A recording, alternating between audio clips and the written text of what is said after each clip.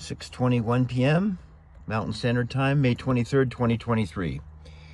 Yep, you might have heard the news. Uh, I guess it's interesting, shocking, interesting, provocative. So, Ron DeSantis is going to announce. Ron DeSantis is going to announce his presidency tomorrow, running for president for 2024. And he is going to announce it on Twitter and evidently team up with this guy to help him in his campaign. Isn't that amazing? Musk and DeSantis.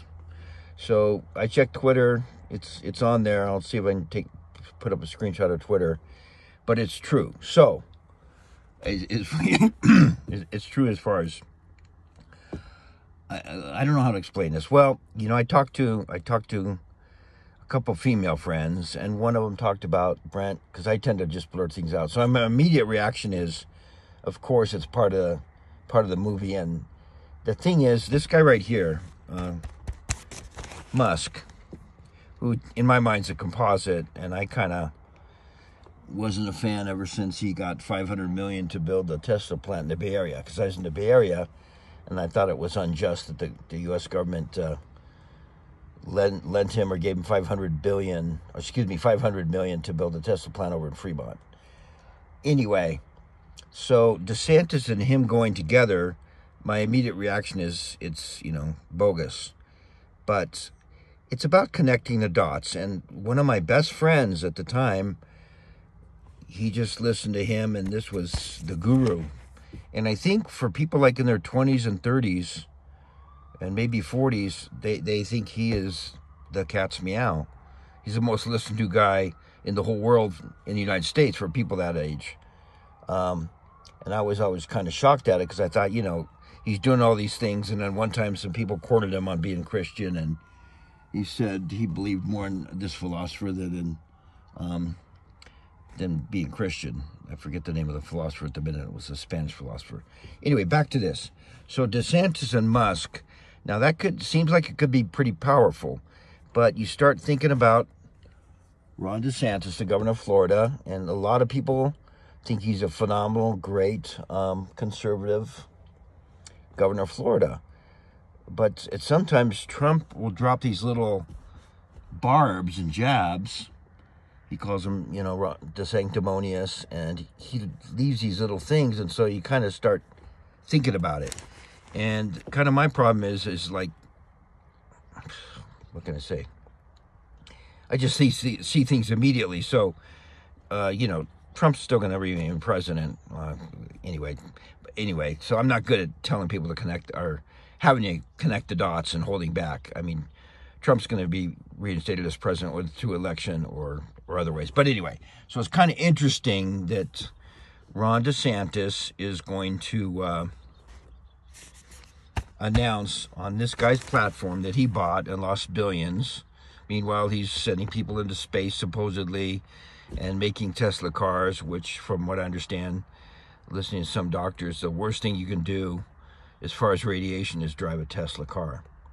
So, folks, connect the dots. You know, this guy, like I called him once to somebody, he's a commie pinko, okay? He's he's a composite guy and probably was doing stuff and even know even back at Stanford and all the stuff he did. Very sketchy all along the way. Very very sketchy. And the fact that people admire him so much kind of like what? What? What? But evidently a lot of people really admire him.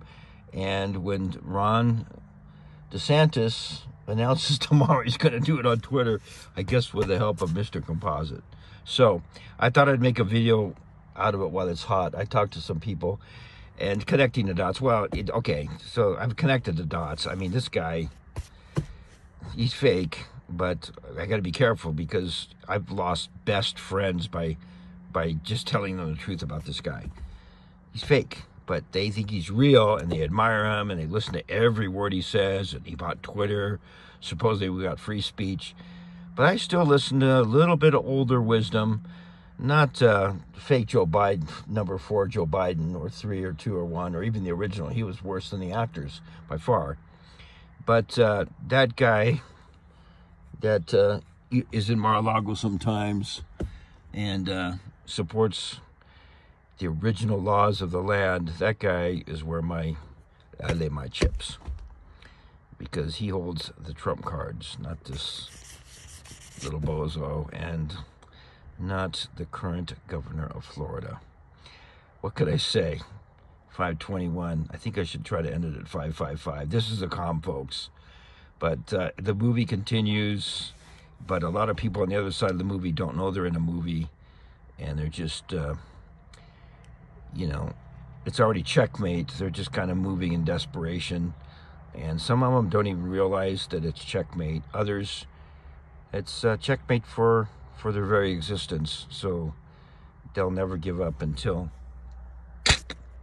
they're toppled, toppled over. They probably won't resign until you actually say checkmate. Some people in professional chess, you know, you check out before because you know it's hopeless. But I think these people will have, they will wait until the king is in checkmate.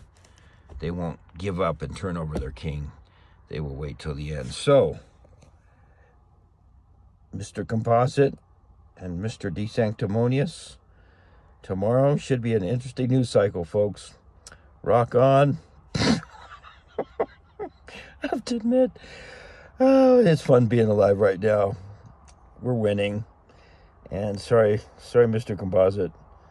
Estás perdiendo. Está, no bueno. Ciao for now. Ciao para siempre.